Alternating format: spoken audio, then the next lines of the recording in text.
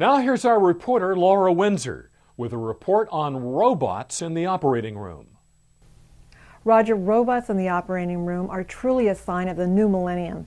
Dr. Brian Hummel of Lee Memorial Health System tells us how the Da Vinci robotic system is improving surgical outcomes. One of the uh, kind of exciting things about surgery and medicine in general is the advances that have been made. We're fortunate now that we've uh, recently been able to acquire a Da Vinci, a robotic system that uh, we feel is really going to provide uh, an extra level of expertise and, and perhaps uh, a, a, true advantage in terms of healing and, and complication rates to our patients.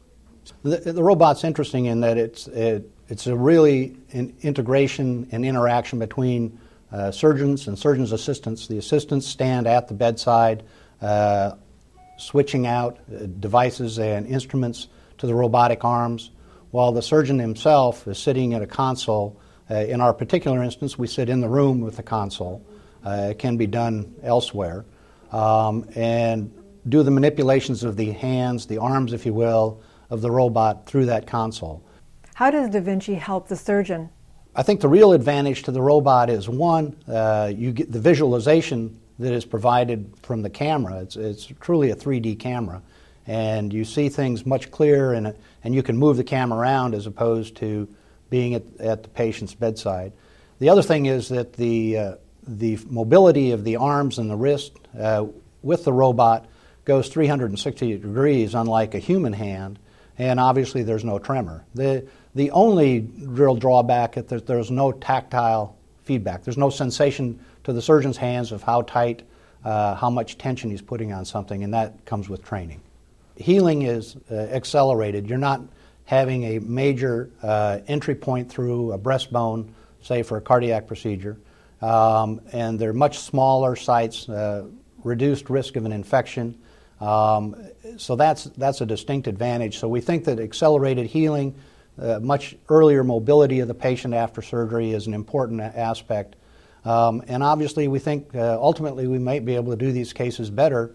Again, as I mentioned, the range of motion at the wrist and the visualization is improved over what we can actually see uh, from the bedside.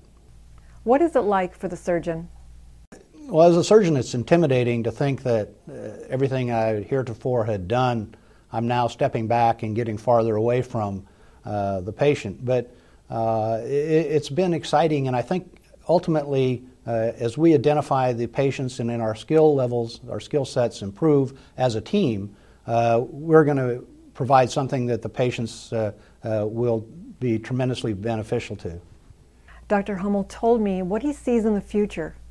If we look down the road five or ten years from now, we're going to find the, the cases, the types of cases being done with robotically assisted uh, surgeons or computer assisted surgeons is going to be expanded. I think we're just now at the precipice of, of all the things that we can see and do, and the technology is, is changing at light speed. It really is amazing.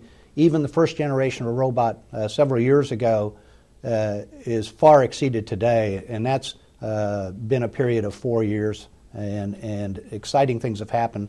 I can only imagine what four or five or ten more years will bring. Dr. Hummel told us he feels the future is definitely here. He said he has yet to have a patient who is unwilling to have the robot assist in the surgery. For the American Health Journal, I'm Laura Windsor.